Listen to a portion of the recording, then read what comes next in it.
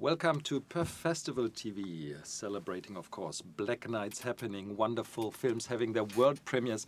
And one of these wonderful films is Pelican from Croatia, being shown in the first feature competition. And there's a lot to talk about. Please welcome Filip Heraković with me. Thank you for being here. Thank you for having me. It is um, a true pleasure to talk about Pelican because it gives me the uh, I, I, can I can test something. This is about a goalie going into a sanatorium, uh, uh, goalkeeper from from soccer, from football, and I think you are not interested in football at all. I'm not a football fan. You're not a football fan. There you go. this is about something else. This is about physique. This is about presence. This is about fame. So why did you choose that character of Josip going to the yeah. sanatorium? Well, uh, it obviously worked for us to have a character that's a sport person because right. he's at a spa recovering from an, from an injury, and uh, it's nice to have something that's very physical like that. You right. know. Uh, but also, of course, football is very important in Croatia's culture. Yeah. So there's a layer sure. of meaning over there as well. Right. Uh, but this is more than anything a film about uh, identity crisis of one person, and it's very universal in that team. So uh, when we set out to write a, me, my co-writer, when we mm-hmm. set out to write a film about an identity crisis, it seemed that like the goalkeeper is a very good occupation for someone going through that kind of a problem because when you think about it, the position of a goalkeeper in football is very weird. I mean, uh, he's always lonely, although it's a team sport. yeah, you know. True. Uh, it's called football. He can play with his hands. Yeah. And uh, he has a jersey of a different color than the rest right. of his team. So when you're talking about identity crisis, I think that uh, goalkeepers have a lot to say. And and the the the best thing for a goalkeeper is when nothing has happened, basically. Exactly. nothing when has he, happened. When he's busy, he, exactly. he got problems. That's a problem. Yeah, so I think that uh, goalkeepers playing in good teams when they don't have a lot to do. Right. They're thinking constantly. So exactly. they're very much contemplative, I think. Sure. Um, now, identity crisis in that sense that he's also a very public person. Mm -hmm. And um, I want to talk about the actor because normally on film, it's great to have actors that have not the height of one meters yeah. 80 or more but this is this is he has a massive presence, and you chose him. So so how was the casting process there? Well. Uh, I knew our main actor Eddie mm-hmm. from mm -hmm. uh, theater, but I didn't know him personally, right. and he never acted on film before. Okay. Uh, but he had something interesting in him. Of course, mm -hmm. he has that energy that uh, I think we were searching for. Mm -hmm. it also helped that he's almost two meters tall, so he's very he convincing is, as yeah, a goalkeeper. Yeah, okay, yeah. And you said a very interesting thing about the physical presence. I think that was very important for our film. He's almost in every shot of the film, and it really helps when uh, he has that really strong physical presence.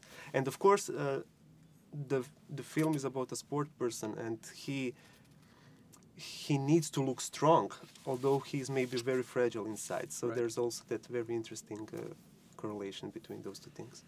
There is. Um, how, how do you like cinema? I think you like cinema as a laboratory of human positions, human humans trying to define themselves and failing and probably also succeeding, but that very fine line of you know yeah. uh, trying to observe.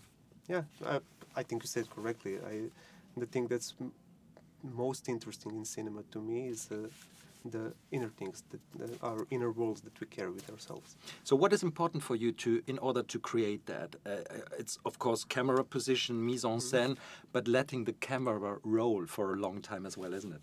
Well, it is. Uh, we decided to uh, do this film uh, with, with, without cuts inside the scenes, right. so it's only one shot per scene, mm. which I think works really well for this story because it doesn't let you to take take uh, your gaze away from the main character. Mm -hmm. You're always with him, and it, it is a bit like a laboratory, as, as you said.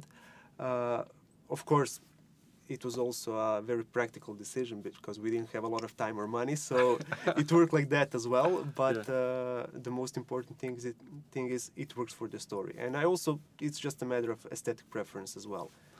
And talking about aesthetic preferences, before the interview on camera, we talked about that it's a very good year for Croatian filmmaking and young filmmaking oh, yeah. uh, per se.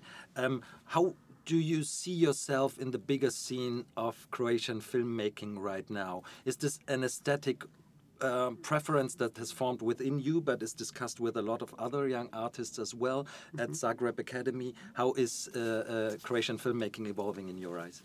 Uh, well, it's really hard to comment your Yeah, place like that, of course. right, yeah, sure. uh, but uh, there's definitely something happening in Croatian film, I would say, Mm. because uh, we had a lot of uh, films this year and last year uh, made by uh, first-time filmmakers who reached international premieres and uh, A-list festivals and so on. Uh, so there's definitely something good happening. Uh, and uh, but the interesting thing is, I think that uh, all of all of those films are different in their themes, in the- their aesthetic approaches. Okay. So, at least I don't think that th- there is a aesthetic wave that's happening. but Right, it- right, right. There's definitely some energy happening. Okay, Yeah. that's wonderful to hear. Um, eh, we didn't talk about humor, but humor is an essential part of the film, of course. yeah. A very dry humor. How would you describe what's the importance of that? Again, social satire to highlight human failings and shortcomings. Yeah. Sure.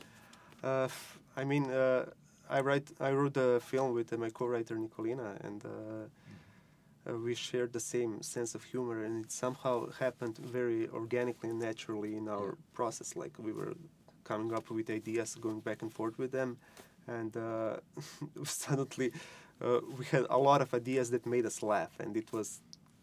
I think that's very good when you're dealing with a team that we are doing because Right. it is a bit absurd. you Yeah, know, yeah, yeah. so, That's that's yeah. there. How do you empathize with Josip, your main character? Because it is he. You might call him broken, with his wings broken in a sense, uh, but it's the surroundings of his, including his girlfriend being an Instagram star, that have this unbroken, unreflected approach to life throughout. No, even his ex-colleagues and former colleagues. So Yeah. Uh, I mean, uh, the whole film is centered around his impressions of the surroundings. yes. So, uh, uh, his girlfriend or his friend that comes to visit him, they're all like reflections of the life that he's trying to leave behind him. And uh, I think that there's a lot to empathize with that. You know, Mhm. it's uh,